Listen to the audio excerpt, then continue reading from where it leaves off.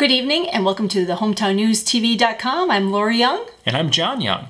On tonight's show, we're going to be looking at storm damage around our area. We're going to be looking at last weekend with Pioneer Days that happened over in Albany. And then we're going to look at the Camp Ripley open house, plus a lot of things that are in this week's edition of the Hometown News.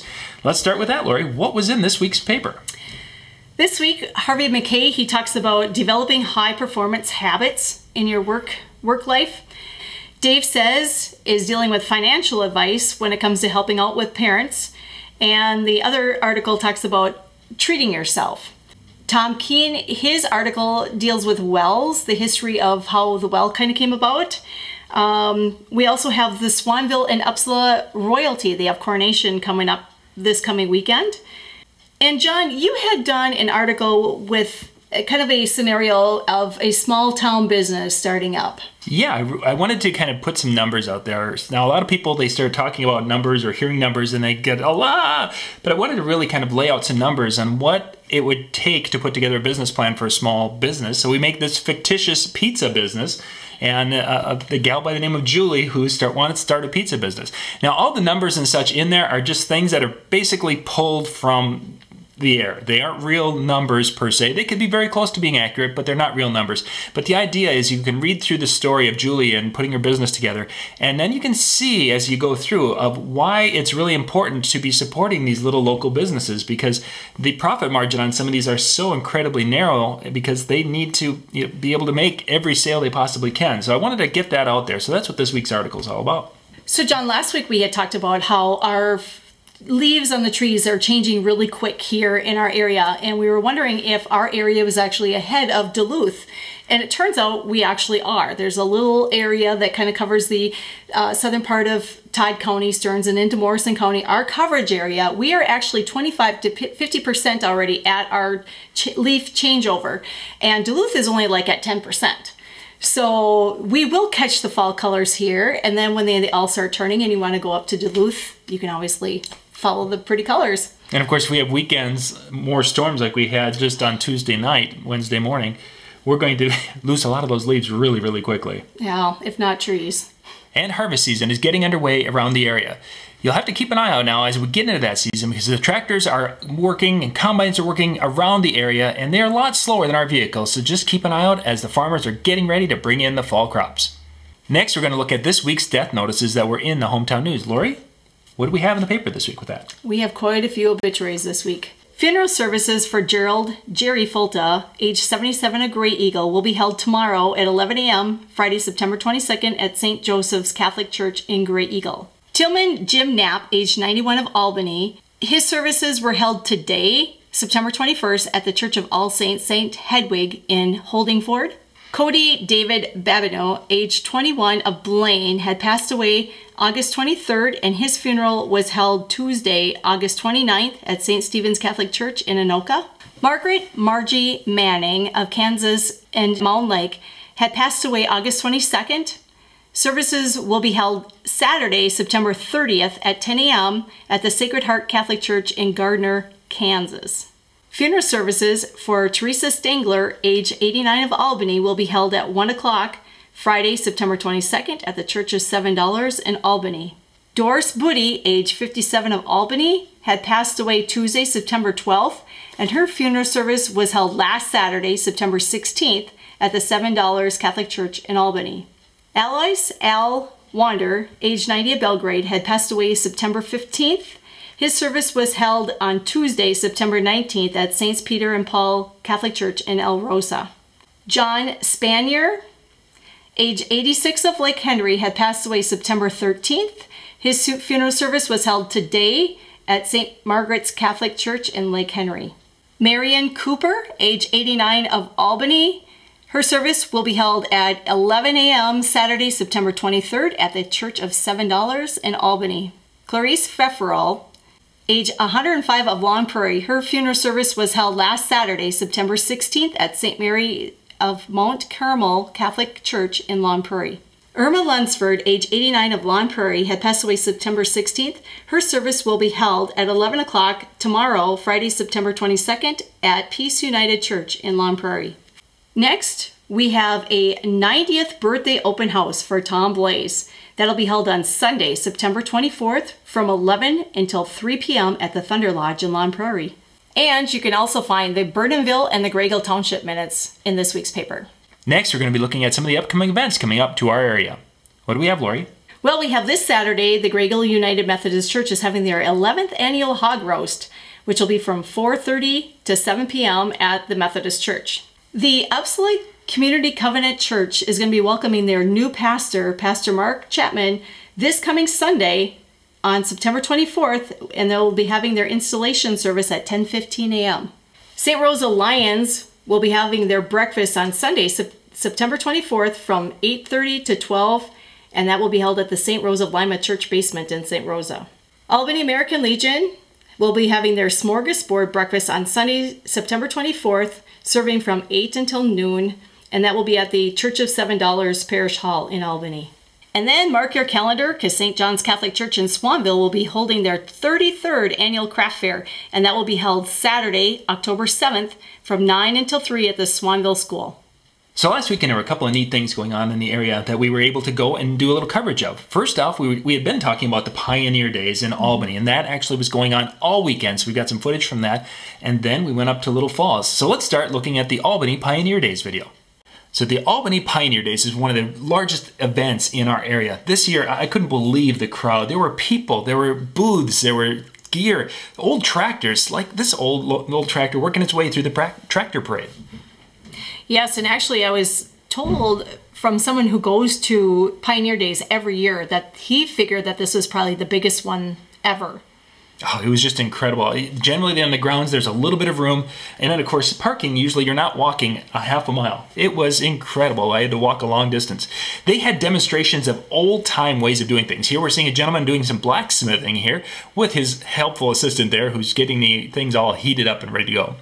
I mentioned the trains, the model railroad. Well, this is the room that is full of trains, and this is a, a child's paradise. The kids come in here, check this out. This is a really neat area. I know when we, we take the kids through there, they're always impressed, and they just love the amount of, of passion that the Railroad Model Club, the Model Railroad Club there puts into their display. I enjoy it too, but I'm not a kid. Then they, of course, they have old machines. This is actually the one I talked about, the old rope making machine right there that is taking some different types of, of twine, what have you, is twisting and turning and doing their whole thing. And it makes this really colorful rope here that you're going to see in just a second. And then they sell this at the show. So just a really neat old way of making rope. And then the big steam engines and different flywheel, you're looking at a huge flywheel, and I wanted to show you this. Just watching the video as we go a little farther, you're going to be able to get a size, a size reference here, because the gentlemen that are standing right there, both of those on our left of the screen are around, the gentlemen are about 5'10 to 6 foot. And look at how much larger that wheel is than the, than the gentleman in that picture. That's an incredibly big wheel. But then they have the smaller steam engines. The little guy here was doing some things with this steam engine. It was kind of neat, having some fun with that, but they're steam engines of all size. And they hold this every year, the second weekend after Labor Day. Yeah, it's a great event, and it's really, again, a time where you can see some of the old stuff at the Albany Pioneer Days.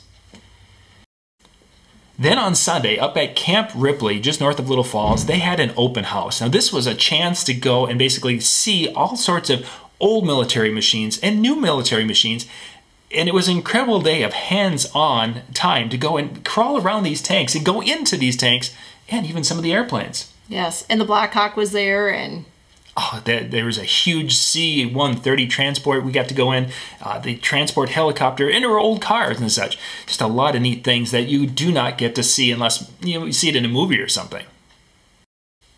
So that looked like that was going to be the bulk of our show for tonight, but then things changed this week. There was a house that was going to be moved through our area, and they had brought it into the area on Tuesday. Tell us a little bit about this house, which is sitting just over by the Rock Tavern. Yes, it actually is a two and a half maybe? story farmhouse yeah story farmhouse is coming from freeport and it's going to be going over towards the hub direction and they were going to bring it to the rock tavern parking lot to spend the night on tuesday and then venture on on wednesday to its final destination which up by the hub. So that means that they were going to be taking the electric down and doing all these different things. We end up getting a call early Wednesday morning from the electric company saying, uh, we're kind of busy. Yes, that their crews were too busy. The scheduled move was going to be postponed until the next day because of all the storm damage. And it's like, wait a second, we we had some wind, we had a little hail because when the storm started, there was some hail. It sounded like someone took a bunch of stones. Threw at. Couldn't really tell how big they were, but it, but you could definitely tell that there was hail involved with that. A lot of wind, but we really didn't have much damage. I posted on Facebook the change of plans with the Minnesota Power. I also had notified people that if they had any storm damage or photos to share, to please share them with us. Right. And Janice Pagel on the north end of Long Lake had shared her dock that was turned and kind of twisted a little bit. And um, I also had found out that Pillsbury was hit pretty hard. So that led me to Pillsbury, and it was really devastating there. Yeah, there's a lot of damage all around the area, and we're going to be looking at some different video footage. Some of the photos were photos that were sent in. Some of you, thank you for, for all of those of you who sent in the photos and such. We know some of you, and we can have your names and such. Some of you, uh, some people sent some photos in and didn't put your name on there. But if you have any kind of photos or video that you shoot on your phone and would like to share with us for our Thursday show, go to htnewstv.com. You do that from your mobile device in a browser, and there's a spot. You can just scroll down a page a little bit, and there's a spot right there where you can upload the photo.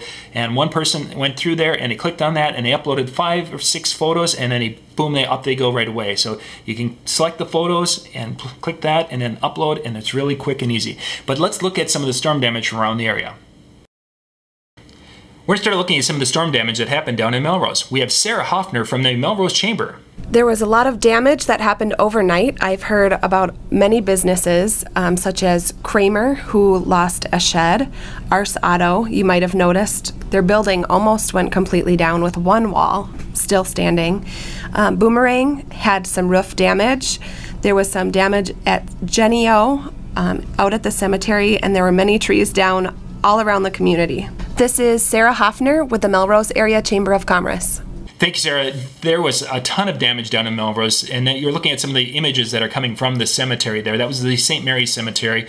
A lot of trees went down. This is a different shot of the Boomerang facility, and you see the roof is all white. Basically, what happened is the building on the left lost part of the roof, and it blew the insulation over top of the next two buildings. Because the roof was wet, it stuck like snow to the roof. Both the off ramp and on ramp on the west side of the bridge there in Melrose, the trees are basically completely gone. This was a boat from the Boomerang lot that was thrown up against the fence, and a few pieces of metal that were thrown over the fence towards the freeway. I went and covered the Pillsbury damage that happened. A lot of down trees, I should say uprooted trees. Know, and they were down too. There's a lot of branches down there. Oh, it's just unbelievable the amount of damage in just kind of a small area, and it all seemed to be kind of on the one end of the lake. Yeah, that's what happens when you have these these huge downdrafts that come from these supercell thunderstorms. They'll have that massive blast of air that comes through, and whatever's in the way is going to go down. Uh, it, there was actually spots where it had uprooted trees or broke them off, and the tree would be like thrown like a couple feet before you'd even see it laying on the ground. Oh. I did a lot of coverage yesterday, so if you want to see some of the vo- from some of the video footage, go to our Facebook page. Which is out at facebook.com slash hometown news, and you can see the live uh, or the videos as they were shot right on site yesterday. And again, more house damage. This was towards the lake side of the houses there. Look at those big root balls from these massive old trees that were just ripped out of the ground like there's nothing going on. Yeah, they were they were taller than myself. Just a lot of damage. These two cars happened to be they were down by the shed when the storm hit and actually had busted out the windows because the cars got hit. There's some wood actually in the back end. Jeez. The uh, tree there is completely stripped. They actually had their paddle boat was up in the tree, and they had to cut that and get that lowered and out of there. I think the cleanup crew kind of started at that end of the the road just to get it open and cleared up and it was just unbelievable the amount of damage. A lot of these places lost pretty much most of their trees in their yards. They were replacing windows, there's holes in roofs. Here's one of the pictures that I used in the hometown news this week. Um, notice where the boat motor is. I didn't realize that when I was on site, but it's kind of interesting. We have the the boat lift turned over. We have the boat and then the motor up by shore. And the canopy, yep. Just massive sized trees too. They're just, I mean, they're not little trees. And the twisted up metal from utility shed or car canopy. Um, there was trees down on campers. There's actually a big fifth wheel that was blown over and on its side. Royal Oven had come and helped uh, pull that one back up. But that's what they used to clear the roads off with was a bobcat with a claw, which was a real labor saver.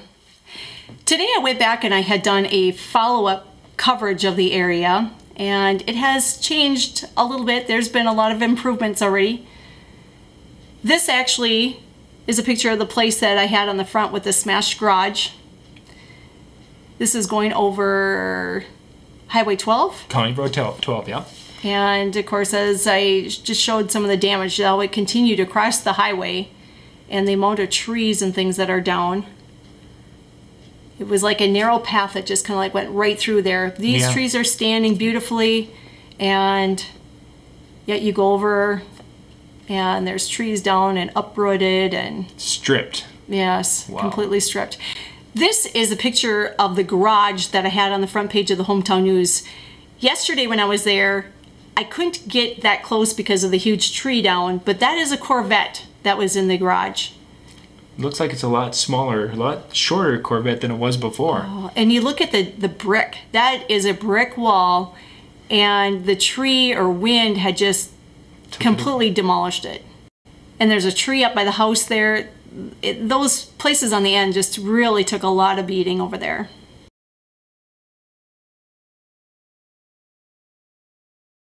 From Pillsbury, I went to the north end of Long Lake where they had a lot of damage and trees down. And I thought it was kind of interesting where they had the men at work and of course they're cleaning up the streets and just a lot of tree damage and such down there also.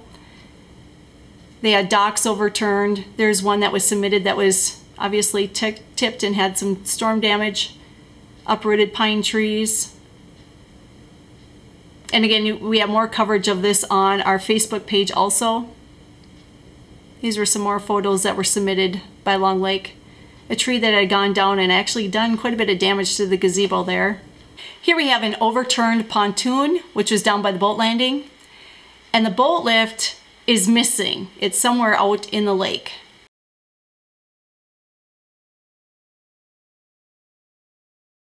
Next, we have some storm damage from the Elrosa area. Now, this was a silo, an older silo that basically fell across the yard away from the building and it went across the road right here. You'll see that. What a mess that would turn out to be. But this is, yeah, this is down by Elrosa. And then this is a grain bin. Now, something like that would happen with a tree hitting it. I don't know how that happened, but what an incredibly, incredible amount of damage. And then, of course, a roof just peeled away on this building. And Sharon Walbeck sent a couple of pictures from some damage that happened just south of St. Rose. Most of the damage happened kind of down by the end of Long Lake. But there were trees down, there were houses uh, that had some damage and such, and there was a shed, I believe, if I heard right, down on one of the farms that was taken out. That camper looks like it's not going to be camping too much this next week.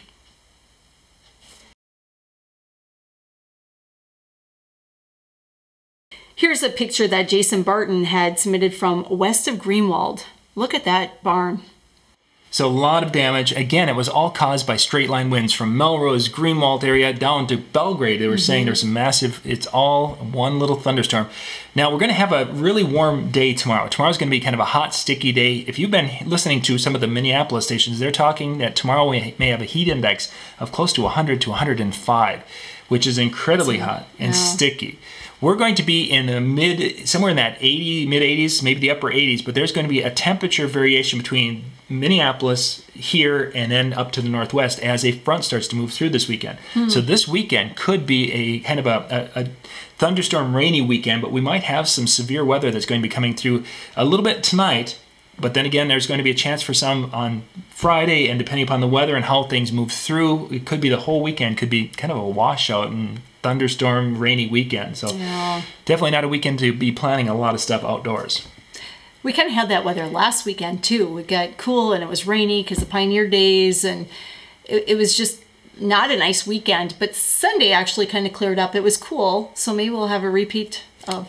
We might just have that. You never know. It's hard to say. The weather changes so quickly at this time of the year Oh, as pressure systems and all the different uh, influences from some of those tropical storms. It does affect how that jet stream flows across the upper Midwest. As weird as it may sound, it all kind of works together. So And I think sometimes when we get those September and October thunderstorms, we kind of put our guards down because we think summer and the severe stuff's over when really we can get some really severe storms out of very that. Very nasty weather as we saw last night.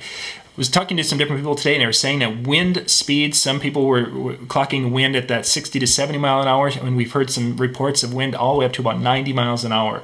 That people who actually really do have the tools for testing this. So it definitely had some very nasty wind in the area from last night, and we may not have a repeat of that completely. But with that heat, if it does get a little bit warmer, if it's pushing the upper 80s to lower 90s on Friday. Friday night could be some some severe weather, so definitely keep your ears and eyes open this weekend because it could be a really uh, a serious time this weekend with the weather. And actually, with the winds, I was told that 74 miles an hour is actually hurricane winds. So we've had hurricane wet So some of- winds around here. So some of you lived through a Category One hurricane on Tuesday night. Well, maybe not quite. And here we think we're safe in Minnesota. Thank you for watching our weekly broadcast. If you'd like to have some pictures and such added, or if you've got an upcoming event, you can contact us at the Hometown News email address. You can send it to our, our different social media aspects, or you can go out to htnewstv.com. And on that page is the link where you can text message something over if you want to. It has the link for uploading, which some of you did with the different storm photos, which we thank you very much for, for all of the different photos and the information. And if you see something happening that we should be able to come on out and shoot some video of, please contact us Facebook, a lot of you are there, and it's a great spot to get in touch with us, and we really appreciate all the tips and photos. You guys are just absolutely awesome. Thank you for watching, and we'll see you next Thursday night. I'm Lori Young. And I'm John Young with the Hometown News TV. Have a good night.